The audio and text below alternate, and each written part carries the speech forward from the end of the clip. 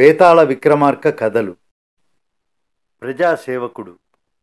ఈ Telugu planet official ఛానల్ని subscribe చేయండి. ఈ వీడియో గురించి మీ అభిప్రాయాన్ని తప్పక కామెంట్ చేయండి. లైక్ చేయండి మాలో ప్రోత్సాహాన్ని నింపండి. షేర్ చేయండి మరిన్ని మంచి వీడియోలు చేయడానికి మాకు అవకాశాన్ని ఇవ్వండి. బెల్ గుర్తుపై ప్రెస్ చేసి యాక్టివేట్ చేసి మా కొత్త వీడియో అప్డేట్ నోటిఫికేషన్స్ మీకు వచ్చేలా చేసుకోండి. ఇక విషయంలోకి వెళితే పట్టువదలని విక్రమార్కుడు చెట్టు వద్దకు తిరిగి వెళ్ళి చెట్టుపై నుంచి శవాన్ని దించి భుజాన వేసుకొని ఎప్పటిలాగే మౌనంగా శ్మశానం నుండి బయటికి నడవసాగాడు. అప్పుడు శవంలోని బేతాళుడు ఓ మహారాజా నువ్వెవరి కోసమో ఇంత అర్ధరాత్రి వేళ ఎంత శ్రమకు గురవుతున్నావో నాకు తెలియడం లేదు. ఈ లోకం చాలా చిత్రమైంది. కీర్తి దాహంతో అధికార వ్యామోహంతో స్వజనాన్ని పనంగా పెట్టినవాడు కూడా ఒక్కొక్కసారి కొందరు స్వార్థపరుల చేత మహాత్యాగి ధర్మాత్ముడు అని కొనియాడబడతాడు. ఒకవేళ నువ్వు సారహీనమైన అలాంటి కీర్తికాంక్షలు కలవాడివైతే హెచ్చరికగా ఉండేందుకు లోకనాథుడనే వాడి కథ చెబుతాను. శ్రమ తెలియకుండా విను అంటూ ఇలా చెప్పసాగాడు. ఒకానొకప్పుడు కోసల రాజ్యంలో సిరిపుర మండలంలోని చంద్రగిరి అనే గ్రామంలో లోకనాథుడనేవాడు గ్రామాధికారి దగ్గర నౌకరుగా ఉండేవాడు.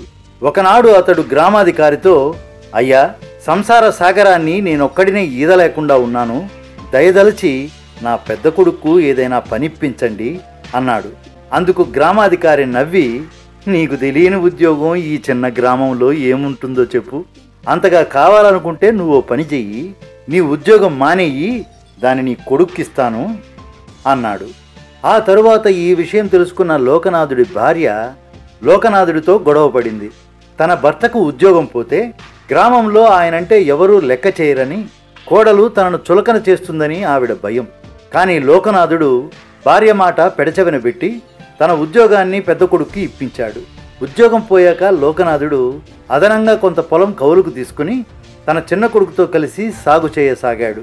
ఆ సమయంలో అనుకోకుండా ఆ గ్రామానికి ఏదో పని మీద సంపన్నుడైన లోకనాథం దూరపు బంధువు ఒక ఆయన వచ్చాడు. మాటల సందర్భంలో లోకనాథుడు ఆయనతో బావా ఎన్ని ఉంటేనే ఎంతో ముఖ్యమైన గ్రంథాలయం మాత్రం మా గ్రామంలో లేదు. విద్య లేనివాడు వింత పశువు అన్నారు కదా. నువ్వు పూనుకుంటే బావా గ్రంథాలయం ఎంత పని? అన్నాడు లోకనాథుడు. దానికి లోకనాథుడి బంధువు నిజమేనని తలాడిస్తూ సరే లోకనాథ గ్రంథాలయ భవనం కట్టించి మంచి పుస్తకాలు కూడా తెప్పించి పెడతాను. కానీ దాన్ని నడిపేందుకు ఎవరైనా ఉచితంగా పనిచేస్తారేమో చూడు. దానికి జీతభత్యాలు కూడా నన్నే ఇచ్చుకోమంటే మాత్రం పొసగదు అన్నాడు. లోకనాథుడు గ్రామంలో నలుగురు పెద్దల్ని కలిసి గ్రంథాలయంలో ఉచితంగా పనిచేసేవాడెవడైనా దొరుకుతాడా అని వారిని అడిగాడు. భలే వాడివి లోకనాథ! చేతిలో వెనబెట్టుకుని నెయ్యి కోసం దేవురించడం దేనికి? నీ చిన్న కొడుకు చదువుకున్నవాడే కదా! వాడినే ఆ పని చెయ్యమను అని వాళ్ళు ఉచితంగా సలహా ఇచ్చారు. ఆ సలహా నచ్చిన లోకనాథుడు తన చిన్న కొడుకుని గ్రంథాలయ బాధ్యతలు నిర్వహించమన్నాడు. కొత్తగా కట్టిన గ్రంథాలయం బాధ్యతల వల్ల లోకనాథుడి చిన్న కొడుకు తండ్రికి పొలం పనుల్లో సహాయం చేయలేకపోయాడు. ఇంటి బాధ్యత అంతా లోకనాథుడి ఒక్కడి మీదే పడింది. దానితో రుణభారం పెరిగిపోయింది. ఒకనాడు సిరిపుర మండలాధ్యక్షుడు చంద్రగిరి గ్రామాధికారిని పిలిచి మీ గ్రామ భూముల్లో అబ్రకం ఉన్నదని తెలియవచ్చింది. మీ గ్రామస్తుల్ని ఎక్కడికైనా తరలించి అక్కడ తవ్వకాలు ప్రారంభించు అన్నాడు. దానికి గ్రామాధికారి క్షమించండి మా గ్రామస్తులకు అన్యాయం చేయలేను. మీరు చెప్పిన పని చేయడం నా వల్ల కాదు అన్నాడు. కానీ ఈ వార్త తెలిసి మర్నాడే లోకనాథుడు సిరిపుర మండలాధ్యక్షుణ్ణి కలిసి అయ్యా ఆ పని నాకు అప్పగించండి నేను చేస్తాను అన్నాడు వినయంగా. దానికి విస్మయం చెంది మండలాధ్యక్షుడు అప్పటికప్పుడే లోకనాథుడికి సంబంధించిన అధికారాలను ఆదేశిస్తూ ఉత్తర్వులు జారీ చేశాడు. తరువాత లోకనాథుడు గ్రామస్తుల్ని ఇల్లు ఖాళీ చేయమన్నాడు. అందుకు వాళ్ళు ఒప్పుకోక ఎదురు తిరిగారు. అయితే లోకనాథుడు మాత్రం సంకోచించకుండా పెద్ద సంఖ్యలో రాజభటుల్ని పిలిపించి బలవంతంగా తన గ్రామస్తులందరినీ వేరే ప్రాంతానికి తరలించాడు. అలా ఇల్లు ఖాళీ చేసిపోయిన వారికి తనకు తోచిన విధంగా నష్టపరిహారం కూడా ఇప్పించాడు. అయితే గ్రామస్తులంతా అతన్ని నానా దుర్భాషలాడారు. ఇది జరిగాక సిరిపురం మండలాధ్యక్షుడు లోకనాథుణ్ణి బహిరంగ సభలో ఎంతగానో పొగిడి పునరావాస కారణంగా కొత్తగా ఏర్పడిన గ్రామానికి అతన్ని అధికారిగా నియమించాడు. కొంతకాలం అలా జరిగింది. కోసలరాజు సిరిపురం మండలం గుండా ప్రవహించే ఒక నది మీద ఆనకట్ట కట్టదలిచాడు. దానివల్ల ఆ మండలంలోని కొన్ని గ్రామాలు నీట మునిగిపోతాయి.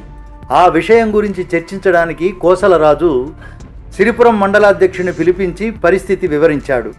మహారాజా క్షమించాలి. ఈ ప్రయత్నానికి ప్రజల మద్దతు ఉండదు. బలప్రయోగం ద్వారా ఈ పని పూర్తి చేయాలనుకుంటే ప్రజల్లో కల్లోలం బయలుదేరుతుంది. అన్నాడు వినయంగా. ఆ తరువాత కోసలరాజు తన పథకాన్ని ఏ విధంగానైనా అమలు చేయాలనే కృతనిశ్చయంతో ఉన్నాడని విని లోకనాథుడు వెళ్ళి ఆయనని దర్శనం చేసుకుని మహారాజా తమరు ఆజ్ఞ ఇచ్చినట్లయితే ఆ ఆనకట్ట నిర్మాణాన్ని నేను పూర్తి చేయించగలను అన్నాడు. దానికి మహారాజు సంతోషించి ప్రజల్లో కల్లోలం బయలుదేరుతుందని చెప్పిన మండలాధ్యక్షుణ్ణి తొలగించి ఆ స్థానంలో లోకనాథుణ్ణి నియమించాడు. పదవి బాధ్యతలు స్వీకరించగానే లోకనాథుడు నీటి ముంపుకు గురయ్యే గ్రామాల ప్రజల్ని బలవంతంగా ఇళ్ళ నుంచి ఖాళీ చేయించబోయాడు. కానీ మండలంలోని ప్రజల్లో తీవ్రమైన అసంతృప్తి కలిగింది. వాళ్ళు తిరుగుబాటుకు పూనుకున్నారు. కానీ లోకనాథుడు వందల సంఖ్యలో రాజభటుల్ని రప్పించి ఆ తిరుగుబాటును అణిచివేశాడు. సిరిపురం మండలవాసులు లోకనాథుణ్ణి స్వార్థపరుడని పదవి కోసం ఎంతకైనా తెగిస్తాడని నిందించారు. కానీ కొన్ని నెలల తర్వాత ఆనకట్టు నిర్మాణం పూర్తయింది. ప్రారంభోత్సవం నాడు కోసలరాజు లోకనాథుడిని త్యాగి అని ప్రజా సేవకుడు అని సద్ధర్ముడని కొనియాడాడు. బేతాళుడు ఈ కథ చెప్పి రాజా లోకనాథుడి ప్రవర్తన గురించి నీ అంచనా ఏమిటి? అతడు ఒక పెద్ద కొడుకు విషయంలో మాత్రం తన ఉద్యోగాన్ని త్యాగం చేసి వారికి ఇప్పించాడు. ఆ తర్వాత అతడు చేసిన పనులన్నీ కీర్తి కాంక్ష అధికార దాహం కొద్దీ చేసినవే కదా. అధికార పదవిలో ఒక్కొక్క మెట్టే పైకెక్కేందుకు అతడు తన గ్రామ ప్రజల్ని మండల వాసుల్ని అందరినీ నానా ఇబ్బందుల పాలు చేశాడు. వాళ్ళ అసంతృప్తిని బలప్రయోగం ద్వారా అణిచివేశాడు. అలాంటి వాణ్ణి రాజు అంతగా పొగడడం అర్ధరహితం కదా? అది ఆయన స్వార్థ బుద్ధిని ప్రజల పట్ల అతనికి గల నిరాదరణను తెలియజేయడం లేదా? నా ఈ సందేహాలకు సమాధానం తెలిసి కూడా చెప్పకపోయావో నీ తల వేయి వ్రక్కలవుతుంది అన్నాడు. దానికి విక్రమార్కుడు లోకనాథుడికి అధికారదాహం కీర్తి వ్యామోహం. అలాగే రాజుకు స్వార్థ చింతన ప్రజల పట్ల నిరాదరణ అంటగట్టడం ఏమాత్రమూ న్యాయం కాదు.